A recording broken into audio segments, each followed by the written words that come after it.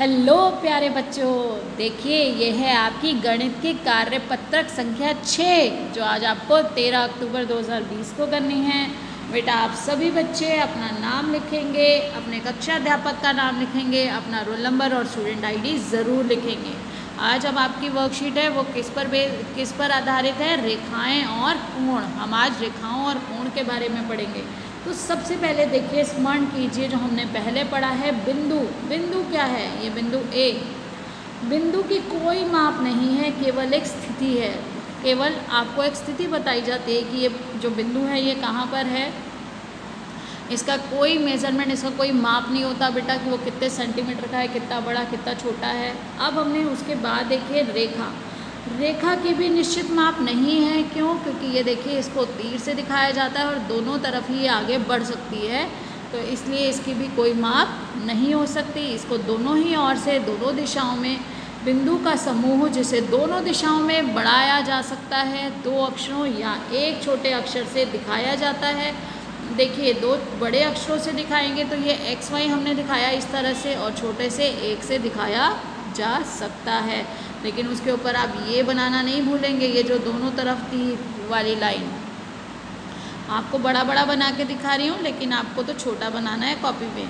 अब ये देखिए, रेखा खंड। अब हमने रेखा का खंड, रेखा का एक टुकड़ा, रेखा खंड। तो देखिए किसी रेखा का एक टुकड़ा जिसके दो अंत बिंदु हों, जिस, इस पूरी बड़ी रेखा में हमने यहाँ दो बिंदु से ये रेखा खंड ले लिया। तो ये अगर हमने इसको ए भी लिखा तो ये क्या है? रेखा खंड अब देखिए बेटा, उसके बाद है हमारा रेखा खंड को अंग्रेज़ी के बड़े अक्षरों द्वारा दर्शाया जाता है। और रेखा खंड अब अगर आपने ए बी लिखा तो उसके ऊपर आप ये लाइन डालेंगे, तीर केवल रेखा में दिखता है। यहाँ पर एक सीधी लाइन, सीधी रेखा ऊपर आप बनाएँगे। आप इसका नाम पी क्यू भी दे सकते हैं आर एस भी दे सकते हैं। जो आपको अच्छा लगे वो दे सकते हैं। अब देखिए, अगला है किरण। तो किरण क्या होती है? आप याद रखिए, सूरज की किरणें। तो सूरज की किरणें कैसे सूरज से शुरू होकर धरती तक आती हैं? इसी तरह से किरण का एक हिस्सा, किरण रेखा का एक हिस्सा, जिसका एक अंत बिंदु नाम थे प्रारंभिक बिंदु होता है। प्रारंभ जहाँ से वो होती है, वो बिंदु होता है और अन्य बिंदु को अपरिमित रूप से बढ़ाते हैं। अपरिमित रूप से मतलब बेटा, कितना भी आगे तक बढ़ा सकते हैं। किरण को ओपी संकेत से दिखाया जाता है। तो किरण को कैसे दिखाएँगे? देखिए, ये ओपी है तो ओपी इस तरह से, ये ये किरण ओपी है। यानी कि ओ उसका प्रारंभिक बिंदु है, जहाँ से शुरू हो रही है, और आगे, क्योंकि पी बिंदु पर ही आगे बढ़ाई जा सकती है तो पी बिंदु पे इसको इस तरह से तीर बनाया जाता है पी की तरफ़। अब देखिए एक बिंदु से कितनी किरणें गुजर सकती हैं? आप देखिए, सूरज की किरणें सूरज से शुरू हुई और कहाँ धरती तक आ रही हैं? तो कहीं तक भी आगे तक जा सकती है तो ये तो इसका हो गया प्रारंभिक बिंदु, सूर्य प्रारंभिक बिंदु और उसकी रे आगे तक बढ़ती चली जा रही है। ये आपका बिंदु को याद, आप किरण को इस तरह से याद रख सकते हैं। अब एक बिंदु से कितनी किरणें हम ले सकते हैं? तो देखिए, एक बिंदु अगर हम लेते हैं, ये बिंदु इससे शुरू करके आप सभी दिशाओं में कितनी भी किरणें आप ये आगे ले जा सकते हैं। तो कितनी हैं? असीमित। कोई सीमा नहीं है उसकी। आप जितनी चाहें उतनी किरणें एक बिंदु से गुजार सकते हैं। ये सभी क्या हैं? ये किरणें हैं और एक ही बिंदु से आ रही हैं और, और जितनी भी चाहेंगे आप इसके अंदर से और भी बना सकते हैं। इसलिए ये असीमित है। अस, इसके बाद देखिए बेटा, इसके बाद हम पढ़ रहे हैं कोण। अब दो किरणों से मिलने से क्या बन जाता है? कोण। आप देखिए, एक कोण दो किरणों अथवा रेखाओं अथवा रेखाखंडों के मिलने से बनता है। उभयनिष्ठ बिंदु शीर्ष बिंदु कहलाता है। जिस बिंदु से दोनों स्टार्ट हुई, जिस बिंदु से दोनों किरणें एक साथ जुड़ती हुई आगे बढ़ी, उस बिंदु को ही हम क्या कहते हैं? शीर्ष बिंदु, यानी कि वर्टेक्स इंग्लिश में आप वर्टेक्स बोलते हैं, हिंदी में शीर्ष बिंदु। कोणों को डिग्री में मापा जाता है। जो कोण होते हैं, उसे किसमें मापते हैं? डिग्री में नापते हैं। और इसको हम कैसे लिख सकते हैं? कोण ओ क्योंकि ये इसका वर्टेक्स है, इसका शीर्ष बिंदु है। नहीं तो इसका नाम कैसे शुरू करेंगे? आप पी से शुरू करेंगे ओ और फिर उसके बाद क्यू तो इसको लिखेंगे पी ओ क्यू और ऐसा भी हो सकता है कि आप इसका नाम क्यू से शुरू करते हुए फिर आप पी की ओर जा रहे हैं तो इसका नाम हो जाएगा क्यू ओ पी दोनों ही ठीक हैं और कोण ओ भी लिख सकते हैं इसको। अब देखिए क्या एक सरल रेखा कोण हो सकती है? बिल्कुल एक सरल रेखा कोण हो सकती है कि अगर एक किरण इस ओर जा रही है और एक किरण उसी के विपरीत दिशा में जा रही है तो ये क्या है? ये इनका उभयनिष्ठ बिंदु है, ये इनका शीर्ष बिंदु है और आप आगे पढ़ेंगे कि ये जो होता है, ये हमारा 180 डिग्री का होता है। रैखिक युगम बना रहा है ये। तो आप देखिए तो इसका उत्तर क्या आ जाएगा? हाँ एक सरल रेखा कोण हो सकता है। आप देखिए, पूरक कोण और समपूरक। तो बेटा, पूरक और समपूरक क्या है? पूरक जब दो कोण एक साथ हो और उनका माप, उनका योग, उनको प्लस करके कोण ए जमा कोण बी अगर जमा करके आपके पास 90 डिग्री आता है तो वो पूरक कोण है। वो जो उनका कोणों का जोड़ा है, वो पूरक है। अगर कोण सी जमा कोण डी का योग ये इन दोनों का योग 180 डिग्री है तो वो समपूरक है। तो इस तरह से आपको याद करना है, पूरक और समपूरक का क्या अर्थ है? आपसे पेपर में बेटा पूछा जा सकता है कि एक कोण आपको दिया जाएगा और कहा जाएगा कि ये दो कोणों का जो दो कोण है वो संपूरक हैं। एक कोण 110 डिग्री है तो अब आप कमेंट करके बताइए कि दूसरा कोण कितना होगा? समपूरक है, एक कोण 110 डिग्री है, दूसरा कोण बताना है। अब आप मुझे बताएँगे कि वो दूसरा कोण कितना है। कितने डिग्री का है? अब देखिए, आसन कोण। तो आसन कोण क्या होता है बेटा? आसन। आसन वर्ड से याद करिए, एक साथ हैं, एक साथ सटे हुए। आसन लगा हुए एक दूसरे के साथ उन्होंने अपना आसन लगा लिया।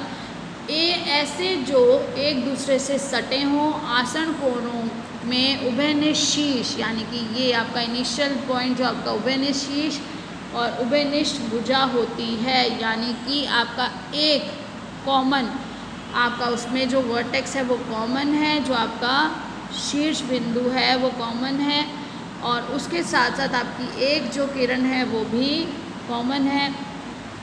कोण पी क्यू आर और आर ओ क्यू कोण पी क्यू आर और आर ओ क्यू आसन युग्म है।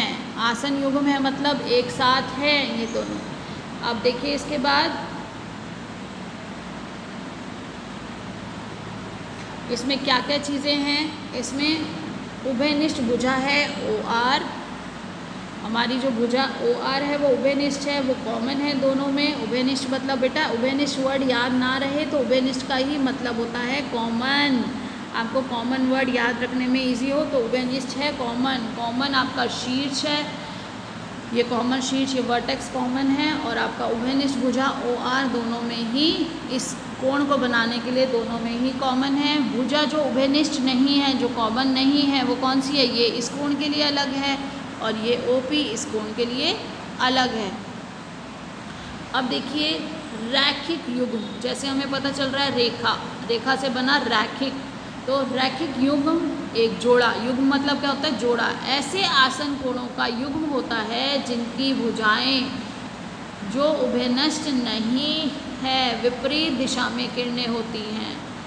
यहाँ पर क्या है? यहाँ पर जो किरणें हैं, वो विपरीत दिशा में हैं, जो दो उभयनिष्ठ नहीं है।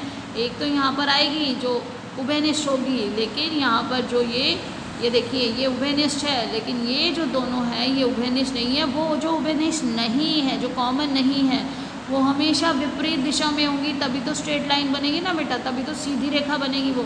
तो यही बताया गया है कि उसमें दो जो हमारी यहाँ एडजस्टेड एंगल में जो आपको बताया, ऊपर आसन कोणों में, ऐसे कोणों का योग है जिसमें एक उभयनिष्ठ, एक इधर जा रही है किरण और एक उसकी उल्टी डायरेक्शन में जा रही है।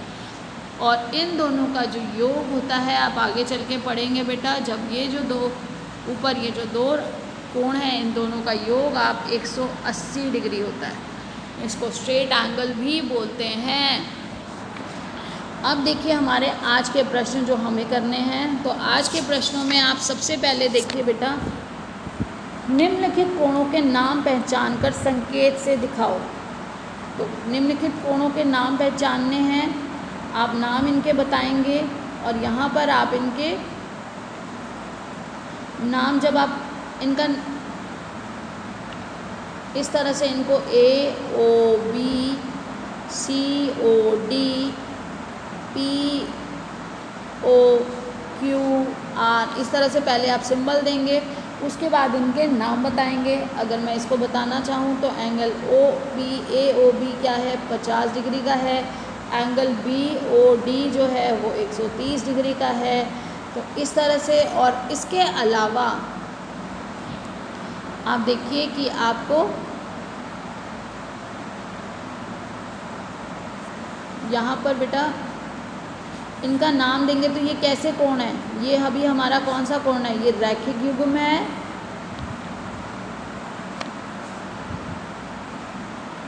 और रैखिक युग्म का आप नाम बता के उसके साथ साथ आप बताएँगे कि ये रैखिक युग में कौन कौन सा एंगल है? तो रैखिक युग में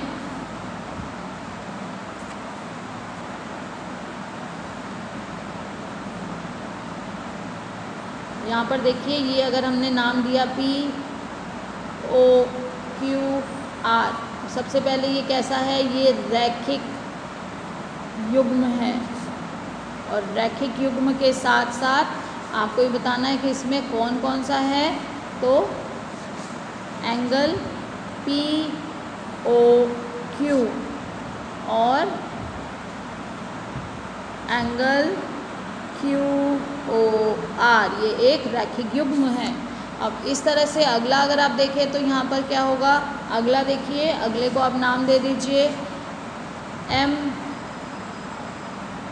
ओ एन पी तो आप देखिए जो आपका एंगल एम ओ एन है और एंगल एन ओ पी है, ये दोनों क्या हैं? आसन कोण है। ये कौन से कोण है बेटा? आसन कोण है? इसी तरह से आप यहाँ पर भी नाम देंगे और वो आसन कोण है, ये भी आपके आसन कोण का ही एक एग्ज़ाम्पल है। फिर आप बेटा देखिए, उसके बाद आपको यहाँ पर बताना है कि कोण एक और दो, क्या ये आसन कोण है?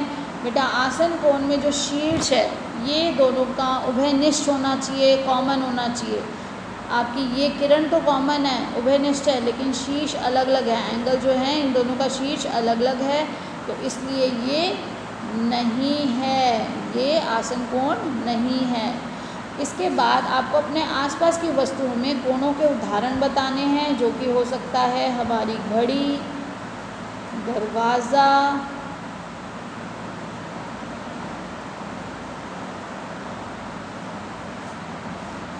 खिड़की, आपका पेंसिल बॉक्स इस तरह से आप कुछ भी जो आप एग्ज़ाम्पल देना चाहें, जिसमें आप एंगल देखते हैं, जिसमें दो चीज़ें इस तरह से खुलती और बंद होती है, कोई भी आपकी अलमारी है, घर में जो अलमारी होती है, उसका दरवाज़ा भी आप देखेंगे तो एक जगह पे वो दोनों जुड़े हुए हैं, वो उनका शीर्ष बिंदु है, जहाँ वो जुड़े हुए हैं, और उसके बाद वो दो किरणें हैं, जो आपको बता रही हैं कि किस तरह से आगे पीछे होता है तो बीच में एक कोण बनता है। अब कोविड के संदर्भ में उचित व्यवहार संबंधी एक संदेश, बेटा, हमें सबको कोविड को हराना है और दो गज की दूरी अथवा छः फीट की शारीरिक दूरी का पालन ज़रूर करना है। आप सब बच्चे बहुत समझदार हैं और आशा करती हूँ कि अच्छे से अपनी पढ़ाई भी कर रहे हैं, आनंद भी ले रहे हैं। साथ ही साथ इन सब बातों का ध्यान रख रहे हैं और हम जल्दी ही मिलेंगे जब हम इन सब चीज़ों से बाहर निकलेंगे और अपनी साधारण दुनिया में वापस आएँगे। वापस सब मस्ती करेंगे। तो इसी तरह से सीखते रहिए, मुस्कुराते रहिए और सुरक्षित रहिए, स्वस्थ रहिए। धन्यवाद।